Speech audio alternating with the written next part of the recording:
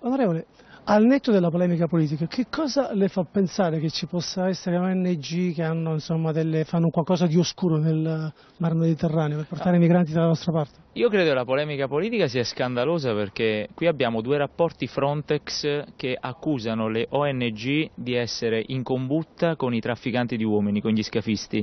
In uno dei rapporti Frontex c'è addirittura scritto che si sono usate navi delle ONG per trasportare criminali.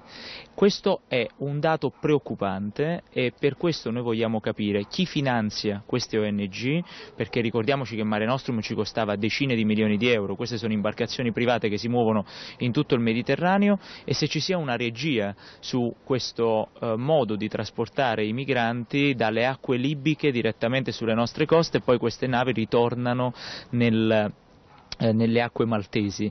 Noi siamo molto preoccupati e quando io sento Saviano o il Partito Democratico scandalizzarsi per le mie parole, penso ad una schiera di ipocriti che in questi anni hanno sempre finto di non vedere il business sull'immigrazione che c'era in Italia e infatti poi ci siamo ritrovati con Mafia Capitale. Qui c'è la Procura siciliana e Frontex che accusano l'ONG. Noi andremo fino in fondo e chiederemo a Minnitti, il Ministro dell'Interno, di sapere tutto su questa vicenda perché non può assolutamente semplicemente essere lasciata così.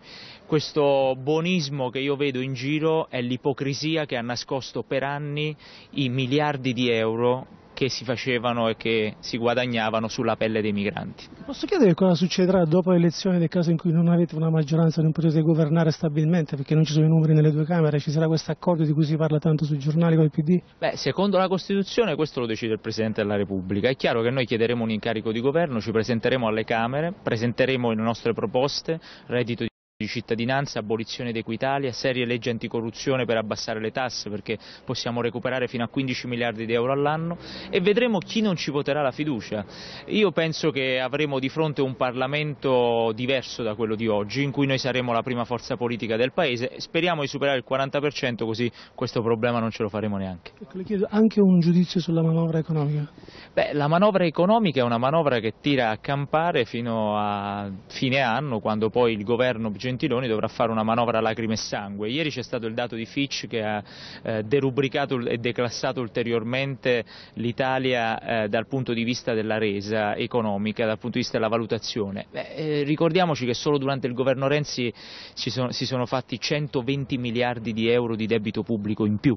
È inutile che si meraviglia Padoan perché viene declassato. Quello che dico io è il Movimento 5 Stelle in questi anni sta governando 37 comuni, in ogni comune abbiamo ridotto il debito, loro invece lo hanno aumentato nello Stato centrale e nei comuni, quindi noi siamo gli unici in questo momento che hanno la possibilità di poter ridurre il debito tagliando le spese improduttive e lo possiamo fare perché abbiamo le mani libere, non dobbiamo comprare aerei di Stato, non dobbiamo fare ponti sullo stretto, non dobbiamo fare opere inutili, ma possiamo tagliare con una seria spending review il debito, fare investimenti e rilanciare il Paese. Quindi quando Fitch parla di populismi, il vero populismo è stato quello di Matteo Renzi in questi anni, quello del PD, che diceva di voler aiutare l'Italia e poi spendeva e spandeva i soldi degli italiani. Lei è qui per aiutare un'azienda del Casertano che produce mozzarella.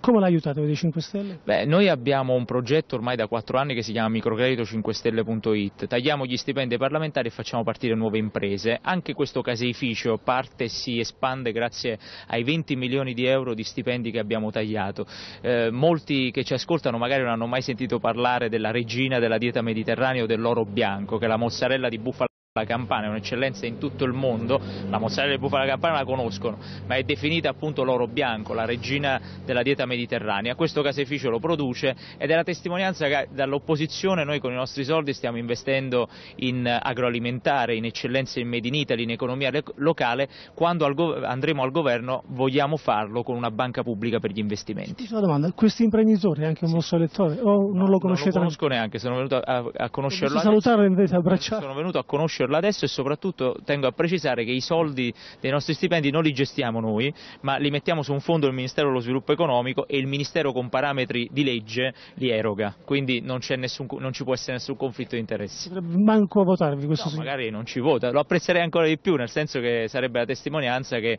non facciamo clientelismo.